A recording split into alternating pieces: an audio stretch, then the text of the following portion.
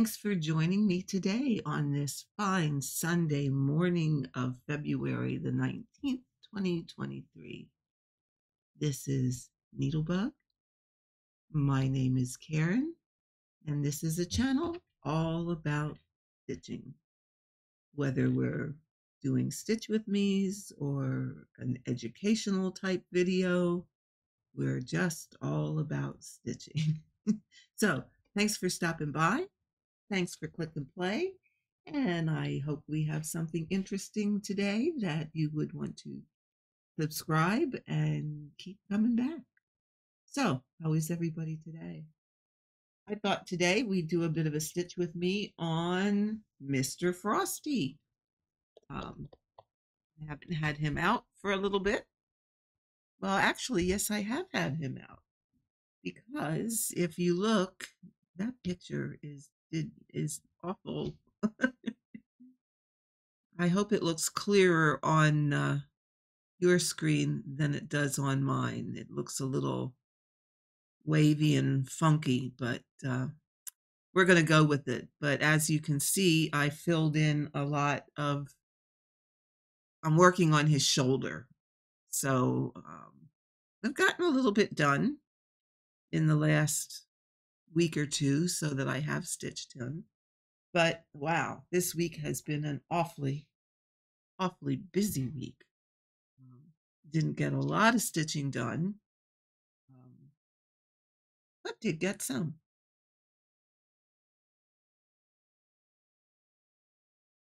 Oh, pardon me, I had to take a little bit of a drink. Um, yeah, but it was, it was a fun week uh, Tuesday, I happened to uh, go down to outside of Lancaster to Strasburg and uh, meet up with country stitchers, Liz and Deb, and they had their stitching day, or actually it was a, a couple hours. Um, their stitching get together, which was quite fun.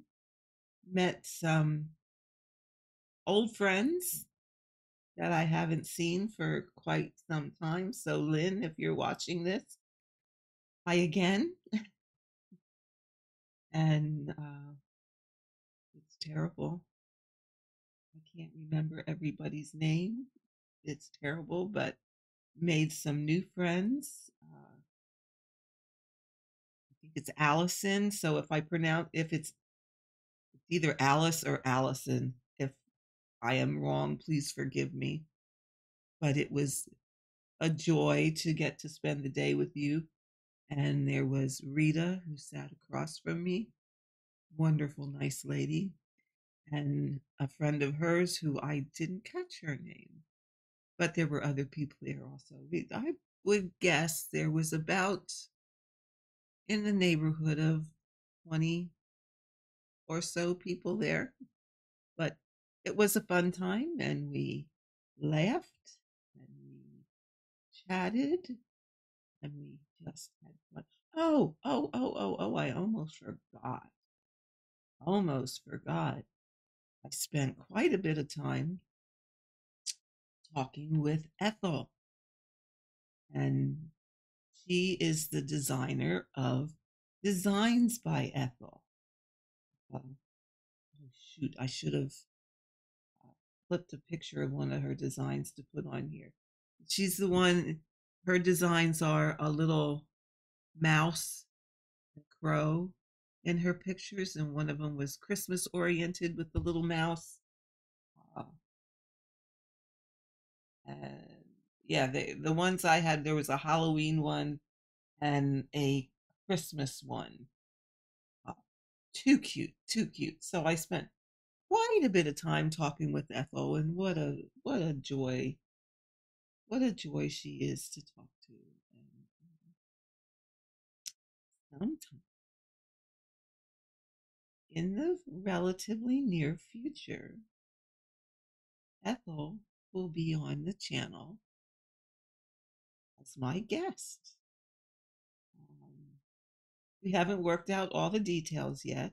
Uh, I will see her again at another stitching day, the 1st of April, at sponsored by Hodgepodge, which is the needle workshop in Strasburg. We are in Pennsylvania, by the way.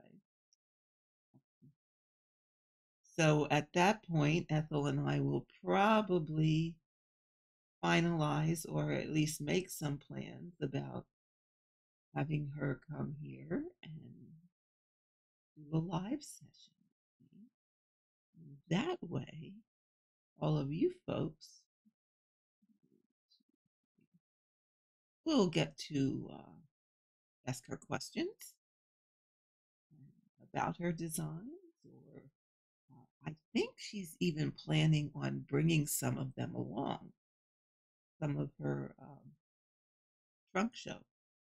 So look forward to that. It will probably be, well, obviously it won't be before April, and it will be sometime after that. But but do look forward to that. We'll be working on that. So it really was a very very thank you, Liz and Deb, for for sponsoring that and getting everybody together. And I know I truly truly enjoyed myself. but then again, stitching days are always fun. We are not, mind you, not going to discuss how many stitches Karen stitched. because um well, you can only guess because Karen really didn't stitch hardly at all. If I got all of 10 stitches done, that that was a lot. But is that not um, typical? Pretty much. Pretty much. But still, it was well worth the drive. Uh, took me about an hour to get there. And again, it took me, of course, an hour to get home but all very much worth it because it was just so fun. So, how many times after a fun day do you have a um, oops day? well, that's what happened. Tuesday was such a fun day. And uh, My husband had gone to bed and we forgot to turn the dishwasher on. So I turned it on after he went to bed. And I'm downstairs here stitching for a while. So now this is probably pretty late, maybe close to midnight.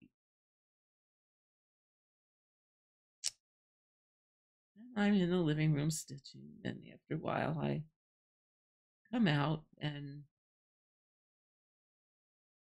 to get uh, you know refresh my beverage, my drink, and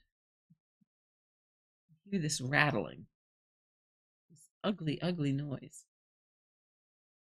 What the heck is that?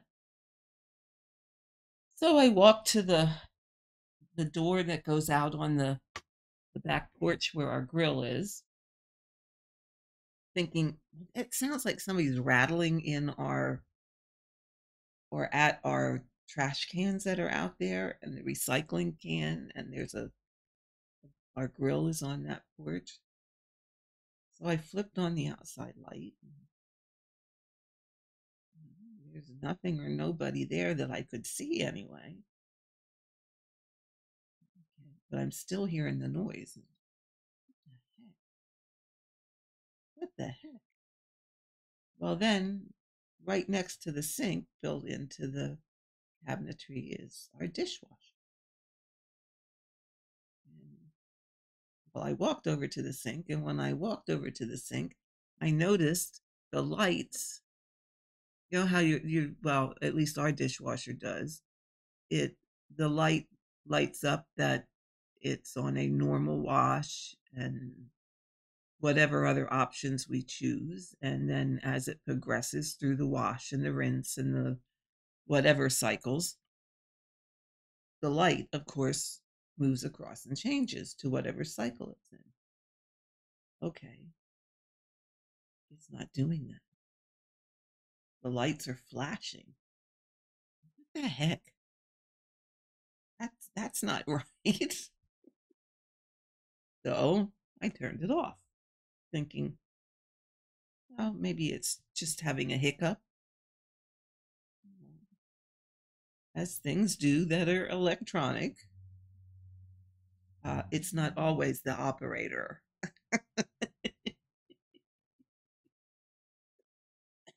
Pardon me. So I waited a couple minutes and I went to turn it back on again it wouldn't turn on. What the heck? What's going on here? So I hit the cancel button again. Well, this time I opened the door and inside I could hear this hissing, almost like hissing sound. Like things wanted to come through, but they couldn't. The world. So I tried, okay, silly me, tried one more time, thinking, okay, let's let's try and start it again. Maybe it's just, like I said, having having a hiccup. and uh it wouldn't start again. So finally I turned it off and said, well, the heck with this. We're not we're not messing with this tonight anymore. So since I am the late go to bed person, my husband is the early go to bed person. Therefore that makes him the early riser and I'm the sleep in later. okay, where did I put my scissors? Hold on a second. Got to get my scissors. Um, here they are. I decided to leave him a note to say, check the check the dishwasher. Like don't don't just go to start it thinking that I didn't. Check the dishwasher and I put in the note what what the issue was.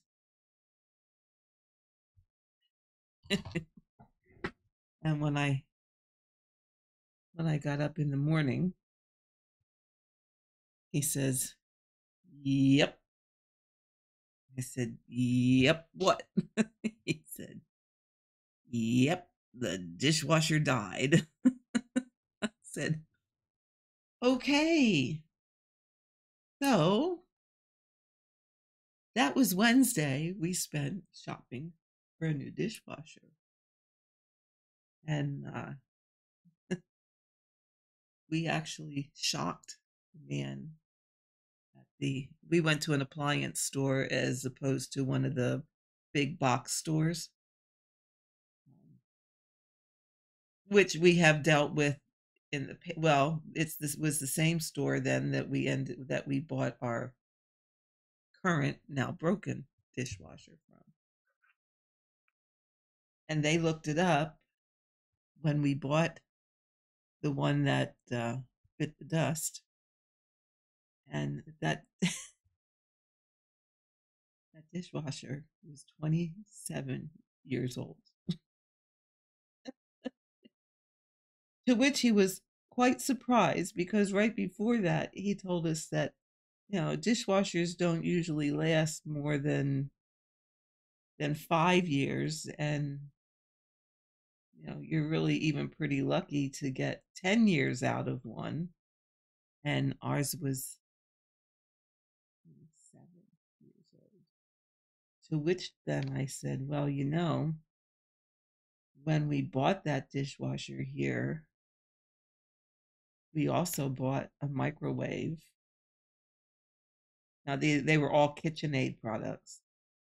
We also bought a microwave and a stove.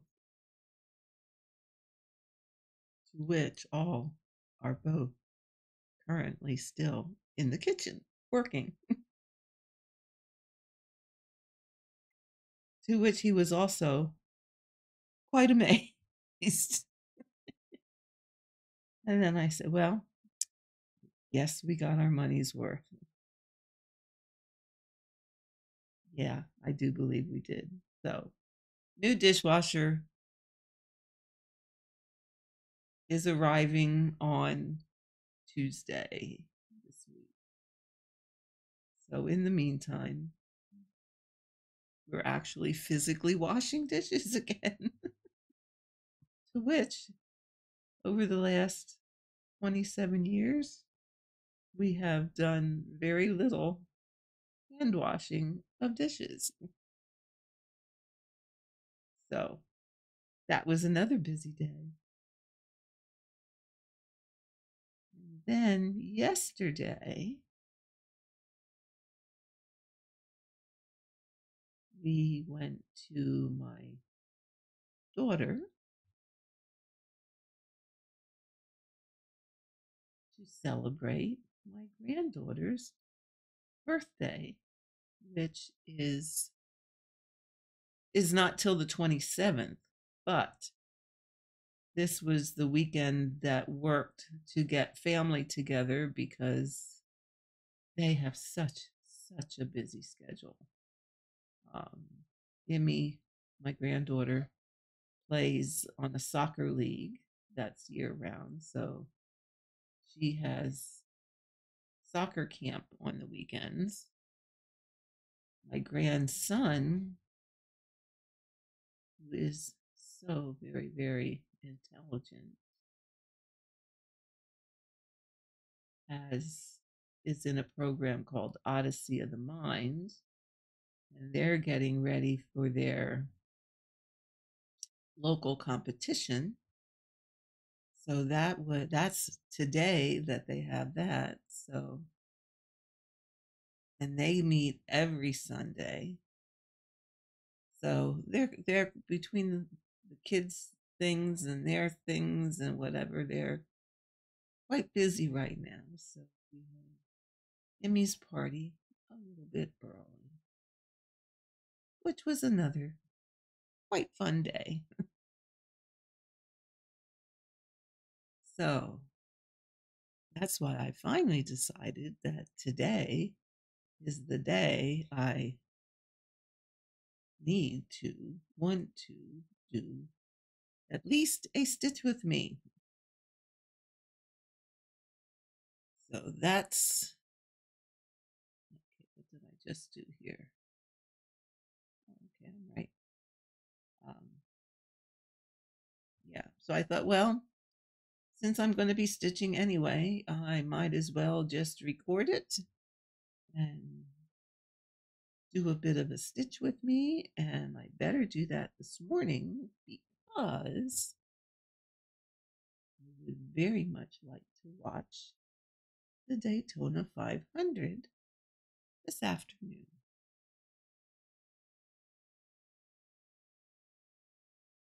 So I will be stitching during that. And hopefully make some progress on this stocking. I am now past 50%. Thank the good Lord. you know, I said I was going to make these two stockings. This one will be my daughter's, and I still have my son in law's to do, which I have a very minimal, very minimal start on. So I still have that one to do. And I said this year I was going to make them a priority. Well, that's my intention. And that is still my atten- intention. However, my friend Barb enabled me to do a cropped version of Cross Stitch Studios God Shed His Grace. which is absolutely beauteous. So I did start that. I did start it. However, I am trying very hard to control myself and not work on it.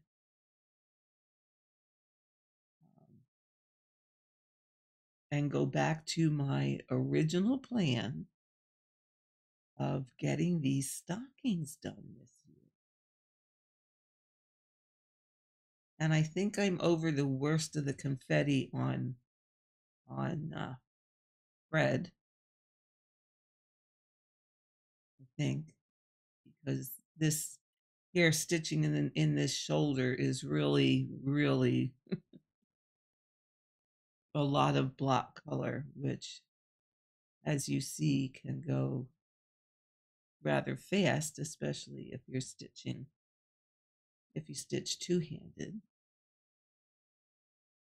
And, uh, you know, I will say that for those of you who try it and, and think that you can't stitch two-handed, you, you really have to give it a little bit of time. Because what needs to happen is you need you need to practice because you need to in order for it to flow and move rather quickly you have to develop some muscle memory. It's okay i'm gonna i'm right-handed so i'm going to use that as an example. I put my right hand underneath when i'm stitching two-handed because my right hand is smarter than my left hand. Now, why is that? Well, first of all, I'm right handed. And up until the point where I started stitching two handed, I stitched right handed, where I would hold the hoop in my left hand and then move my right hand back and forth. I would stitch like this. Then bring this hand up and go down and go underneath and pull it through and push it up go down. So this hand, this right hand, got pretty smart. It knows what to do. It knows how to quickly find that hole from underneath. So that's the hand, especially when you're learning, is more than likely the hand to be underneath when you're stitching two hands. I said, because it's smarter, it knows what to do. And on the top, I have my left hand, which is my non dominant hand. And I keep that one on the top because it's not as smart. And in order to know what hole to go in and to find that hole relatively quickly, it needs supervision. So it needs my eyes to tell me which hole to go in so that I can see it as opposed to just feeling it.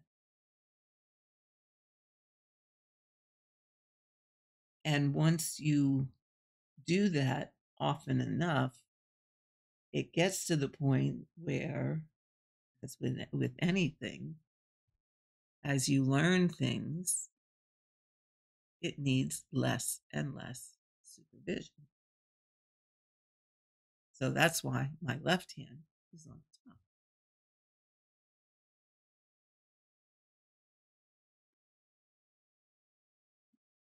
I had a drink.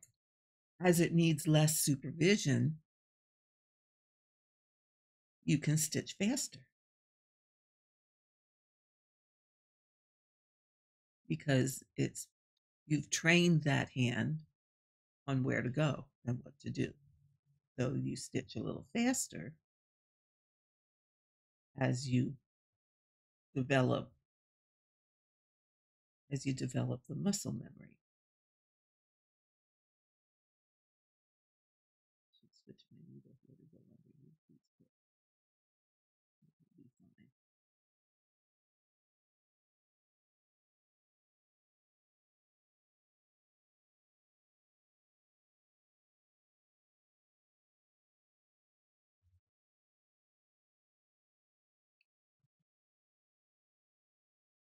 In case you're wondering, this is my newfound way to end my threads without flipping over, which I really do like.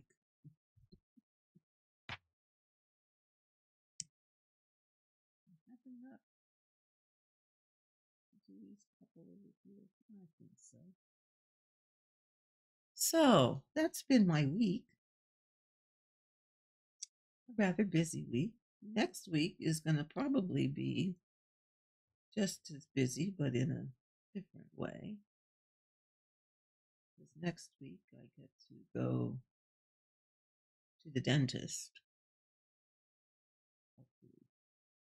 Um, and get my implant checked so that if everything is all as it should be there, I can get my tooth made to put on it. That will be absolutely wonderful because I can feel my regular teeth starting to shift so that uh, vacancy needs to be filled. so we'll see how that goes. And then Wednesday, haircut.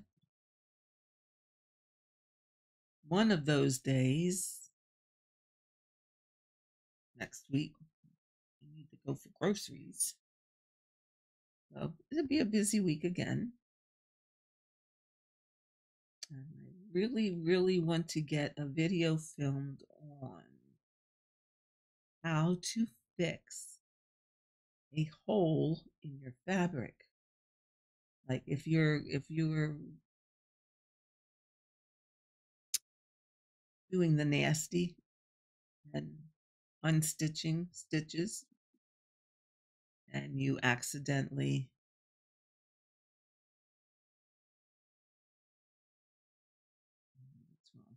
um, you accidentally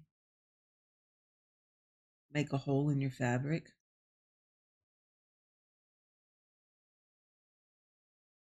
but you like if you use your scissors and cut those stitches out which i do a lot of times.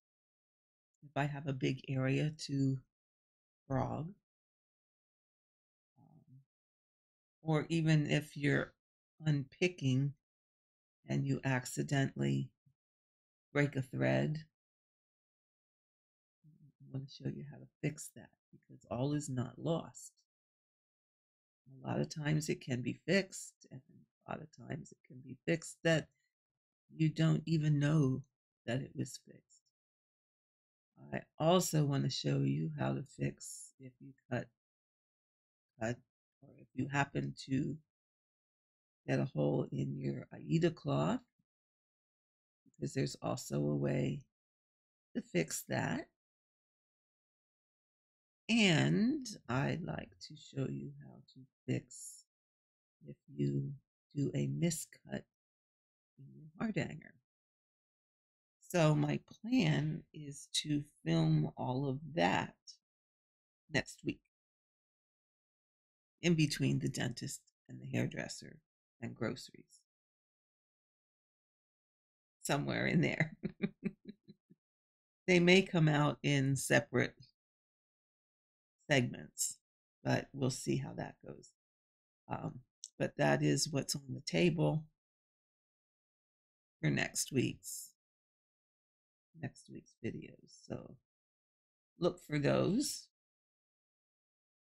We'll keep sliding down here. And uh, that will come out. Let's see. we been on? Oh, about a half an hour. We'll go a little bit yet. Because I do have one more thing that I'd like to talk about. And I, I've talked about this before. And it's such a pet peeve of mine. Or should I say, something that just that just puts me over the edge almost every time I hear it. Now, let me preface it with saying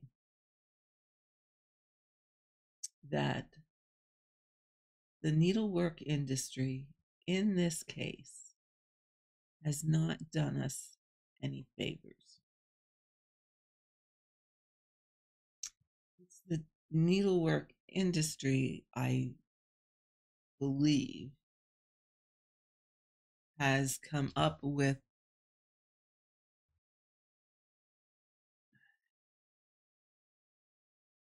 whether they came up with or they just started using some terminology that is inaccurate.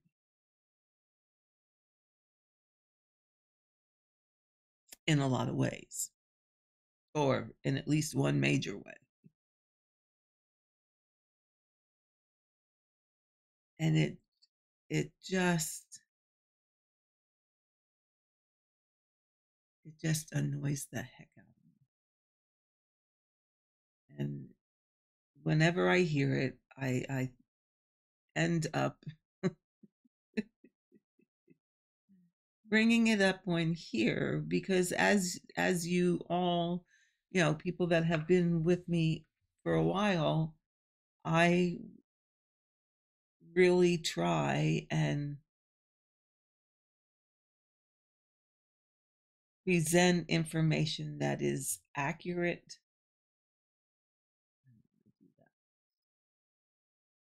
That's correct. That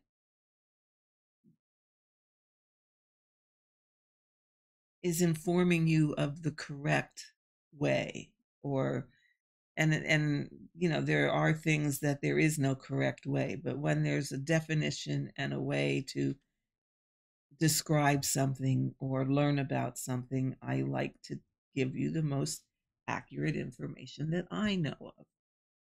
Am I always right? Probably not. But in this case, I am. And it's just something that, as I said, sends me right over the edge and that is the use of the term even weave.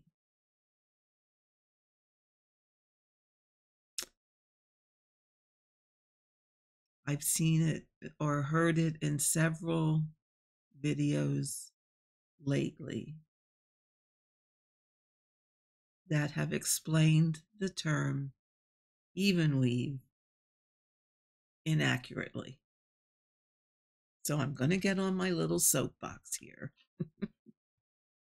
and remind everybody that even weave is not its own, does not just mean threads or fabrics where the threads are all even, as in Lugana, as in Jobelan, and that type of fabric where every thread is consistently the same. Yes, they are even weave, but even weave is not, that is not the definition that all their threads are even in the sense that they're all the same thickness. Even weave, by definition, is there are the same number of threads horizontally as vertically. So if you're working on 25 count fabric you have 25 threads horizontally, 25 threads vertically, so that when you stitch your X or you stitch 10 by 10, a 10 by 10 square, it comes out square. That is a key phrase. Remember that. When you stitch your 10 by 10 square on a piece of even weave, it comes out square. If you're stitching on an uneven weave, it will either come out tall and skinny or short and fat. First, I'm going to talk about even weave. By that definition, this is where I get hung up. By that definition, all of the fabrics that you stitch on for counted cross stitch are even weave. Aida cloth, Lugana, Jobelan, Murano, Newcastle linen, Edinburgh linen, Legacy linen, just to name a few. Congress cloth, mono canvas for needlepoint are all even weave. Why are they even weave? Aida cloth is woven differently. It has multiple threads going in each direction that make up a square. Hardanger fabric is even weave. Why is that even weave? It has two threads and two, two threads horizontally, two threads vertically that make up a square. Why is that even weave? Linen, its threads aren't even. It has fat threads and skinny threads. Why is that even weave? Ladies and gentlemen, it is even weave because there are the same number of threads vertically as horizontally that when you stitch a 10 by 10 block, it comes out square. If it's not even weave, it's going to say something like your linens that are 5260. That's not even. Because that is telling you it has 52 threads in one direction and it has 60 threads in the other direction. And depending upon, upon which way you orient that fabric, you're either going to get tall and skinny or short and squatty. Therefore, that's uneven. Aida cloth is even weave. It doesn't matter how that cloth is woven in the sense that those squares are made up by four little threads horizontally and four little threads vertically that make up that square. But the number of squares is even, therefore making it even weave. All of your cross stitch fabrics are even weave unless otherwise stated. And if they're not even weave, they're going to give you two numbers. Okay. It's my soapbox, ladies and gentlemen. Drives me crazy every time I hear it. Every time I hear it, I go off the deep end. I feel I have a responsibility to the community to educate you on what is even weave and what is uneven weave. I stitched a Sam Vikki Clayton at one time had had a fabric produced produced that was an uneven weave. I forget exactly what the count was. And I did a Quaker sampler on that to which I had it oriented. And that was fine. That's what I wanted. I had it oriented so that my em- my medallions, I guess you call them, came out short and wide. I could have oriented it that they came out tall and thin. That's why you see some samplers stitched by the little girls that if you stitch them today on our fabrics, they're going to come out maybe they're going to come out different shaped because those little girls may be stitched on a fabric that was not even. Sometimes to get that piece to be tall and thin because it was an uneven weave fabric, they might have stitched two, they might have stitched over three. So they might they might have their X might have been two threads across, three threads up, so that it was longer, higher, and not square. I hope I'm explaining that right.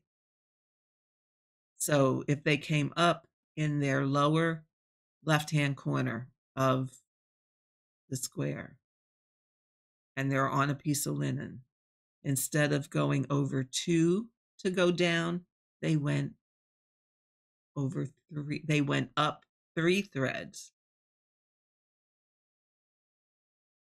Okay. When they came or they went they went up three threads and went then went down through the fabric they came up three threads below that so that they had two threads. Okay here. They came up here. Think of these as a thread. They came up here. They went up one two three over two and went down here. Then they came back here and came up and went down here so that their X was tall and skinny.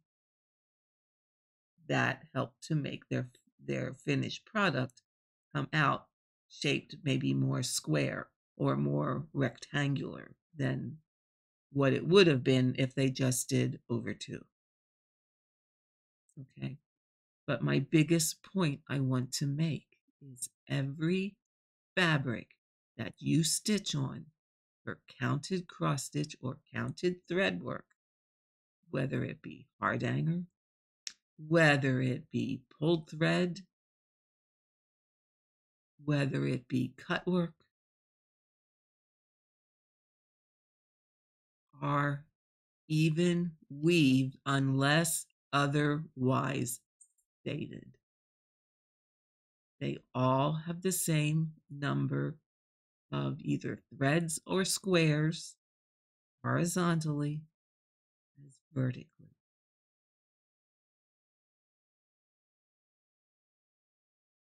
And, and like I said, what really sent me over the edge was the question was asked about is Aida cloth even weave? The answer that was given was no, because it has multiple threads making up the squares. That's not the definition of even weave. Is linen even weave? No, because it has fat and skinny threads. That is inaccurate information. Linen is even weave unless otherwise stated. So I feel like I'm being repetitious here, and I am, but I really wanted to get that message across. The industry has done us the disservice by calling those fabrics that are made of, I'm just, I'm going to say blends of fiber and calling those even weave? Is it because they didn't know what else to call them? only my personal opinion. What I think should have happened is instead of classifying just those fabrics as even weave, we should just be calling them by their name. We should just be saying Lugana, Murano, Linda Cloth, Davos, Jobelan, whatever the manufacturer has named them is what we should be calling them instead of ju- eh, instead of clump, clumping them together and calling them even weave let's just start saying lugana i want to stitch on lugana i want to stitch on murano. I want to stitch on jobelan if you don't know which you want to stitch on maybe you have a shop that would get you or give you small samples of each so that you could try and find out what fabric you like the best. Or maybe you want to stitch this particular project, project on Jobelan, but you want to do this particular project on Lugana.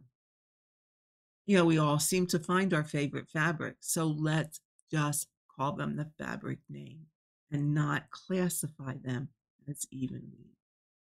Because the big umbrella of all of these fabrics, Aidas, Jobelan, Lugana, Murano, Congress cloth, mono canvas, linens.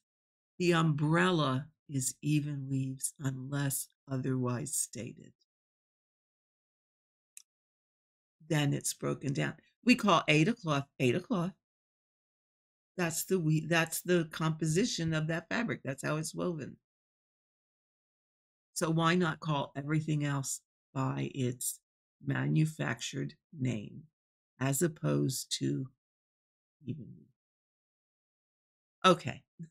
I probably drove my point home a little bit more than I should have. But as you can see, it just it just sends me over the edge. So, sorry, not sorry for being windy about it. I just wanted to make the point so that people can understand what that difference is. And maybe if we as consumers start calling these fabrics by their fabric name instead of a classification that the industry has given them, maybe we can start to change that. Just maybe. So that's my soapbox for today. I hope you enjoyed. I'll try not to do it too often. But hopefully things will start to people will start to understand that that that I won't have to do that so often. But yeah, I I just can't help myself. It just just does that to me. so ladies and gentlemen, we have been here for the best part of an hour. So, with that, I am going to say this is a wrap. I hope you enjoy the rest of your Sunday. Whatever it is that you're going to do today, uh, it looks like it's going to be a wonderful day outside here in Pennsylvania. The sun is shining brightly.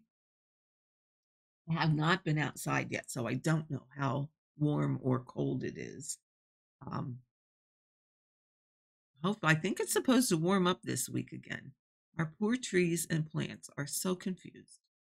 They don't know what to do. They are so confused. So, with that, ladies and gentlemen, have a great rest of your weekend. Enjoy your stitching time. Stitch what you love. Love what you stitch. And remember, the only rules in cross stitch are the ones you make. for yourself. Bye bye for now.